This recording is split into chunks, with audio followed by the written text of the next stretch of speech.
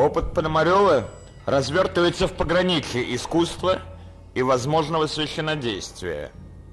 Действо в целом совмещает в себе элементы инсталляции, выставки, то есть картинной экспозиции, и музыкального перформанса, ритуала. По сути, это разновидность environment. Environment – это искусство среды, стратегия обживания обыденных территорий и преображения их через магию искусства. Мы наблюдаем современный поиск синтеза искусств, где каждый из них в отдельности, по сути, подвергается смерти, празднует самоупразднение на пороге перехода в иное качество. Смерть искусств и вывод по ту сторону искусства, на уровень ритуала, который предвидится на идеальном горизонте творимого –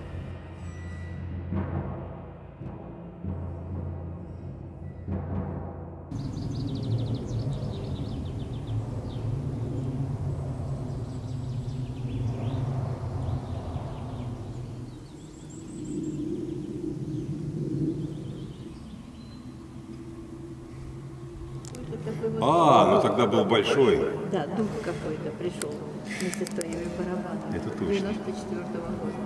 Так, сейчас. Ага, ну давай сюда. Ну это что-то возьмем. Это даже как подогрелось. Перегрелось. Это вот так вот становится. О, И все.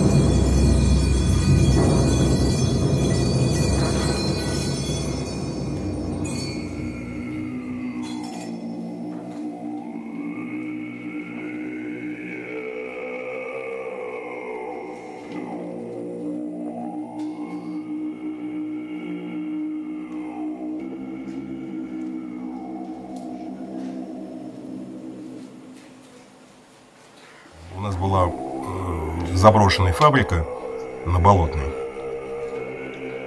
М, Раньше там были склады водки Смирнов до революции. Без дверей, без окон, без крыши, без всего. И вот мы с Лешей эм, там сделали такую базу. Она была бесхозная совершенно, фабрика.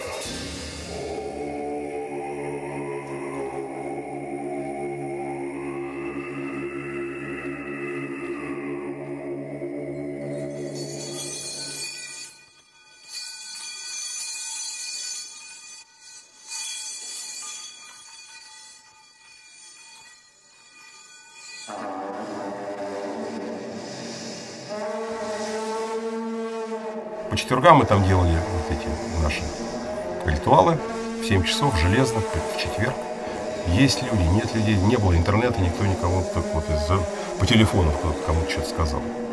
Бесплатно, просто вот мы сидели там и э, пели, играли.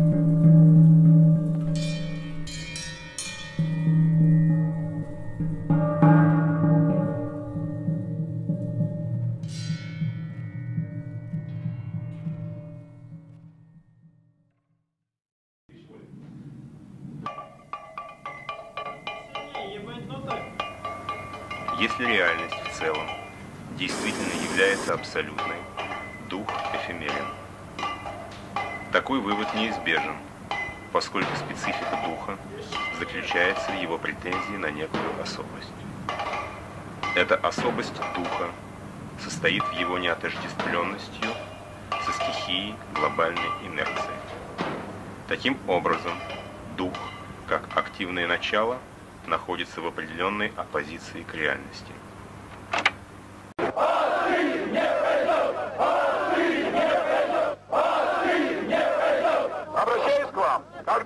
Москвичи, никаких силовых э, мер не принимать. Разойтись, мы дали ком- команду, чтобы работников милиции никто из москвичей не тронул.